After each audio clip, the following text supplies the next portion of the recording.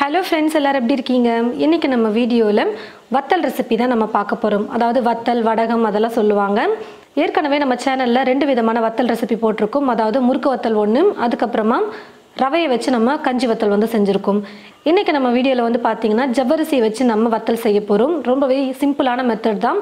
எல்லாரும் கண்டிப்பாக செய்யக்கூடிய வகையில் ரொம்ப ஈஸியான மெத்தடில் தான் நம்ம பண்ணியிருக்கோம். வாங்க வெறும் ஜவ்வரிசியை மட்டும் வச்சு வத்தல் எப்படி செய்கிறதுன்னு பார்க்கலாம். ஜவ்வரிசி வந்து பார்த்தீங்கன்னா கொஞ்சம் பெருசு பெருசாக இருக்கும் பார்த்தீங்களா அந்த ஜவ்வரிசி தான் நான் வந்து எடுத்து வச்சுருக்கேன் இப்போ. ஒரு கப் அளவுக்கு நான் அளந்து எடுத்துக்கிட்டேன். வெயிட் போட்டு பார்த்ததுல கால் கிலோ ஜவ்வரிசி நான் வந்து எடுத்திருக்கேன். உங்களுக்கு எவ்வளோ வேணுமோ அந்த அளவுக்கு நீங்கள் ஜவ்வரிசி அளந்து எடுத்துக்கோங்க. அதாவது அரை கிலோ ஒரு கிலோ எவ்வளோ வேணுமோ நீங்கள் எடுத்துக்கோங்க. ஆனால் கப்பில் வந்து அளந்துக்கோங்க. ஏன்னு பார்த்தீங்கன்னா தண்ணி வந்து நம்ம அளந்து சேர்க்கணும். அதுக்காக கப்பில் வந்து அளந்துக்கோங்க. இப்போ ஒரு மிக்ஸி ஜார் எடுத்துக்கிட்டு அந்த மிக்ஸி ஜாரில் எடுத்து வச்சுருக்கிற ஜவ்வரிசியை சேர்த்துட்டு நல்லா நைஸாக பவுடராக வர மாதிரி நம்ம அரைச்சி எடுத்துக்கலாம். ஜவ்வரிசியை மிக்சியில் போட்டு பவுடராக அரைக்கிறதுக்கு முன்னாடி தண்ணி வந்து நம்ம பாத்திரத்தில் காய வச்சுக்கலாம். தண்ணி காயறதுக்கு கொஞ்சம் லேட் ஆகும். தண்ணி காயறதுக்குள்ளே நம்ம ஜவ்வரிசி எல்லாத்தையும் அரைச்சி ரெடி பண்ணி வச்சுக்கலாம். ஜவ்வரிசி எடுத்த அதே கப்பில் ஏழு கப் அளவுக்கு நான் வந்து இப்போ தண்ணி சேர்த்துக்கிறேன்.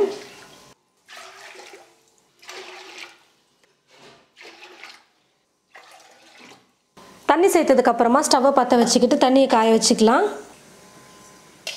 ஜவ்வரிசி அரைச்சி எடுத்துக்கிட்டேன். நல்லா நைஸாக பவுடர் மாதிரி அரைச்சி எடுத்துக்கிட்டேன் பாருங்கள் முடிஞ்ச அளவுக்கு கொஞ்சம் நைஸாக இருக்கிற மாதிரி அரைச்சி எடுத்துக்கோங்க. இப்போ இது ஒரு பாத்திரத்தில் சேர்த்துடுறேன். முதல்ல இப்போவே நம்ம ஜவ்வரிசியை தண்ணி சேர்த்து கரைச்சி எடுத்துக்கலாம். ரெண்டு கப் அளவுக்கு நான் இப்போ தண்ணி சேர்த்துட்டு கரைச்சிக்க போகிறேன் உருண்டைகள் எல்லாம் எதுவுமே இல்லாத மாதிரி நல்லா நைஸாக கரைக்கணும். நம்ம எல்லா தண்ணியிலையும் கரைக்கும் பொழுது ஒரு சில டைம் வந்து உருண்டை கட்டிக்கும். அதனால் வந்து ஃபஸ்ட்டு கொஞ்சம் தண்ணியில் கரைச்சி எடுத்துக்கிட்டு அதுக்கப்புறமா நம்ம மற்ற தண்ணியோட பாத்திரத்தில் கொதிக்க வச்சுட்ருக்கோம் பார்த்தீங்களா அந்த தண்ணியோட சேர்க்கும்போது உருண்டை கட்டாமல் நம்மளால் கலந்து கொடுக்க முடியும். கொஞ்சம் கூட உருண்டைகளே இல்லாமல் நல்லா நைஸாக நான் வந்து கரைச்சி எடுத்துக்கிறேன். பாருங்கள் ஃப்ரெண்ட்ஸ் நான் வந்து தண்ணி சேர்த்து மிக்ஸ் பண்ணிக்கிட்டேன். ரெண்டு கப் சேர்த்தேன். தண்ணி ஆனால் பாருங்கள் நல்லா கெட்டியாயிடுச்சு. அதாவது தண்ணி சேர்த்தோன்னே ஊறிடுச்சு ஜவ்வரிசி. இப்போ திரும்ப ஒரு அரை கப் அளவுக்கு சேர்த்துக்கிறேன் தண்ணி. ஒரு ஃப்ளோவில் நம்ம தண்ணியில் அப்படியே ஊற்றணும் கொதிக்கிற தண்ணியில். அதனால் கொஞ்சம் இலக்கமாக இருந்தால் தான் கரெக்டாக இருக்கும். அதனால் கொஞ்சம் தண்ணி சேர்த்து நான் கரைச்சிக்கிறேன். மொத்தமாக இப்போ ரெண்டரை கப் அளவுக்கு தண்ணி சேர்த்து நான் கரைச்சிருக்கேன். இப்போ ஒரு மிக்ஸி ஜார் எடுத்துக்கிட்டு அந்த மிக்ஸி ஜாரில் நாலு பச்சை மிளகா நான் வந்து சேர்த்துக்கிறேன். நல்லா பெருசு பெருசாக இருக்கிறதுனால நாலு பச்சை மிளகா எடுத்திருக்கேன். கொஞ்சம் மீடியம் சைஸில் இருந்ததுன்னா பச்சை மிளகா அஞ்சு எடுத்து இப்போது கொஞ்சம் குறை குறைப்பாக நம்ம மிக்சியில் போட்டு அரைச்சி எடுத்துக்கலாம். பாருங்கள் ஃப்ரெண்ட்ஸ் தண்ணி வந்து நல்லா காஞ்சி வந்துருச்சு. இப்போ இந்த சமயத்தில் வந்து நம்ம மிக்ஸ் பண்ணி எடுத்து வச்சுருக்கிற இந்த ஜவ்வரிசியை சேர்த்துடலாம். ஸ்டவ்வை வந்து கொஞ்சம் மீடியம் ஃப்ளேமில் வச்சுக்கோங்க. அடி பிடிக்கக்கூடாது அடி பிடிக்காமல் நம்ம வந்து குக் பண்ணணும். அடி பிடிக்காமலும் உருண்டை கட்டாமலும் நம்ம குக் பண்ணுறதுக்காக கரண்டி வச்சு கலந்து கொடுத்துக்கிட்டே இருக்கணும்.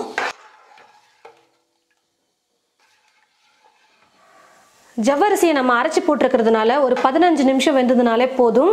ஆனால் நம்ம ஜவ்வரிசி வேகிறது மட்டும் பார்க்கக்கூடாது ரொம்ப தண்ணியாக இருக்கிற மாதிரி எடுத்துடக்கூடாது ஜவ்வரிசி வெந்துருச்சுன்னு சொல்லிட்டு. கொஞ்சம் திக்கான பதத்துக்கு வர வரைக்கும் நம்ம குக் பண்ணிக்கலாம். இது கூடவே ஒன்றரை ஸ்பூன் அளவுக்கு சீரகம் சேர்த்துக்கிறேன். அரைச்சி வச்சிருக்கிற பச்சை மிளகாவை சேர்த்துடுறேன். தேவையான அளவு உப்பு சேர்த்துக்கிறேன். கைவிடாமல் ஸ்டவ்வை மீடியம் ஃப்ளேமில் வச்சுக்கிட்டே கலந்து கொடுத்துக்கலாம்.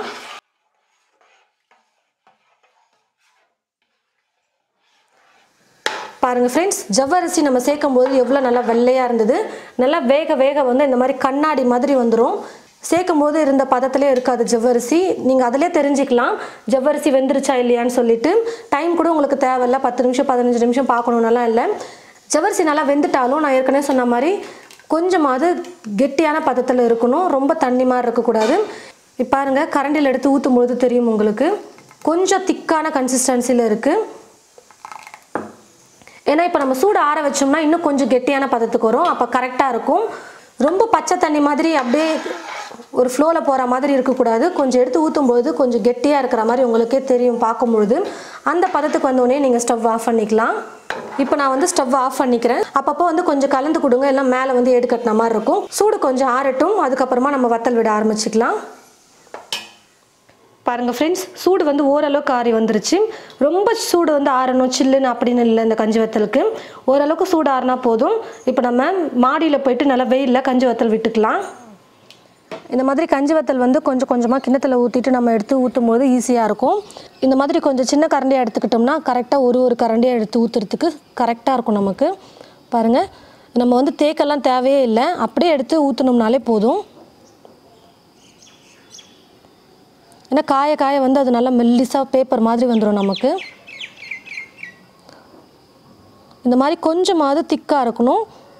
பாருங்கள் ஊற்றும் பொழுது தெரியும். இந்த அளவுக்கு கொஞ்சம் திக்காக இருந்ததுனா தான் காயறதுக்கு கொஞ்சம் சீக்கிரமாக இருக்கும். வத்தல் நல்லா வரும். துணி வந்து பார்த்தீங்கன்னா தண்ணியில் நல்லா நினச்சிட்டு கொஞ்சம் கூட தண்ணியே இல்லாத மாதிரி நல்லா பிழிஞ்சு எடுத்துக்கிட்டு அதுக்கப்புறமா நான் வந்து துணியை போட்டிருக்கேன். எப்போவுமே வத்தல் செய்யும் போது துணியை தண்ணியில் நனைச்சிட்டு தான் போடணும். இதே போல் காய்ச்சி வச்சிருக்கிற எல்லா கஞ்சியுமே நம்ம வந்து அழகாக ரவுண்ட் ரவுண்டாக விட்டுடலாம். ஜவ்வரிசி வந்து பார்த்தீங்கன்னா இப்போ ஃபுல்லாக போட்டாச்சு. நம்ம வந்து கால் கிலோ ஜவ்வரிசி தான் எடுத்துருந்தோம். அதனால் கொஞ்சம் தான் வந்திருக்கு பாருங்கள் உங்களுக்கு எவ்வளோ அளவு தேவையோ அதுக்கேற்றது போல் நீங்கள் வந்து ஜவ்வரிசி எடுத்துக்கோங்க. நிறைய வத்தல் வேணால் நீங்கள் நிறைய ஜவ்வரிசி எடுத்து நீங்கள் கஞ்சி காய்ச்சி எடுத்துக்கலாம். நல்லா காயட்டும்.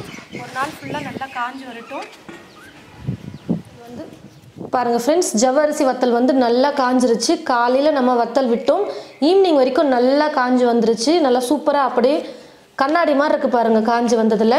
இப்போ வந்து நம்ம இதை எடுத்துடலாம் துணியிலேருந்து அப்படியே வந்து நம்மளால் எடுக்க முடியாது. துணியில் வந்து வத்தல் விட்டோம்னா தண்ணி போட்டுட்டு அதுக்கப்புறமா எடுத்தால் ஈஸியாக வரும்.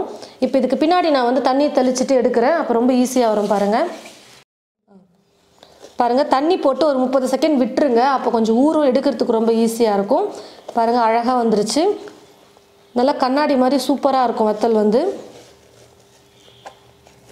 இந்த மாதிரி வத்தல்லாம் வந்து நம்ம துணியில் விடும்போது தண்ணி போட்டு தான் எப்போவுமே எடுப்பாங்க. அப்போ தான் ஈஸியாக வரும்னு.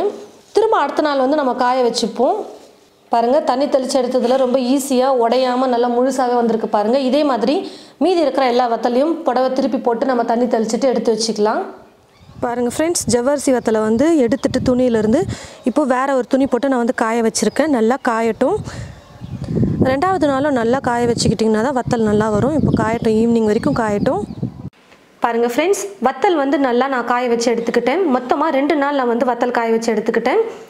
நல்லா சூப்பராக ஜவ்வரிசி வத்தல் வந்து ரெடி பண்ணிட்டோம் பாருங்கள் ஜவ்வரிசி ஊற வைக்க வேணாம் எதுவுமே பண்ண வேணாம். அரைச்சிட்டு நம்ம தண்ணியில் நல்லா கெட்டியாக வர வரைக்கும் காய்ச்சி எடுத்துக்கிட்டோம்.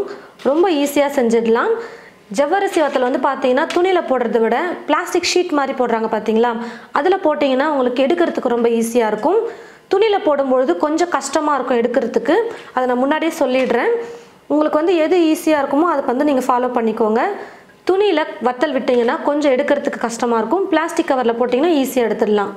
இந்த ஜவ்வரிசி வத்தலுக்கு மட்டும்தான் நான் சொல்கிறேன் மீதி எல்லா வத்தலையும் நீங்கள் காட்டன் துணியிலே போட்டுக்கலாம். இது ஒன்றுத்துக்கு மட்டும் ஆப்ஷனல் நீங்கள் எது உங்களுக்கு கம்ஃபர்டபுளாக இருக்குமோ அதை ஃபாலோ பண்ணிக்கோங்க. நல்லா மொறு மொறுன்னு வர வரைக்கும் காய வச்சு எடுத்துக்கணும். அப்போ தான் நம்ம ஸ்டோர் பண்ணுறதுக்கு கரெக்டாக இருக்கும். இப்போ எண்ணெயில் பொரிச்சு பார்க்கலாம். வத்தல் எப்படி வருதுன்னு சொல்லிட்டு.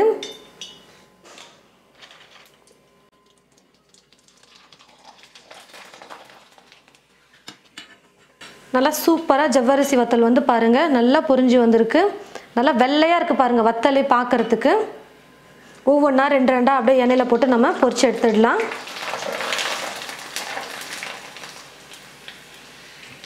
எண்ணெயில் போட்டதுக்கப்புறமா அப்படி கொஞ்சம் கரண்டியில் இப்படி அழுத்தி பிடிச்சோம்னா கொஞ்சம் மடியாமல் ஓரளவுக்கு வரும் நல்லா.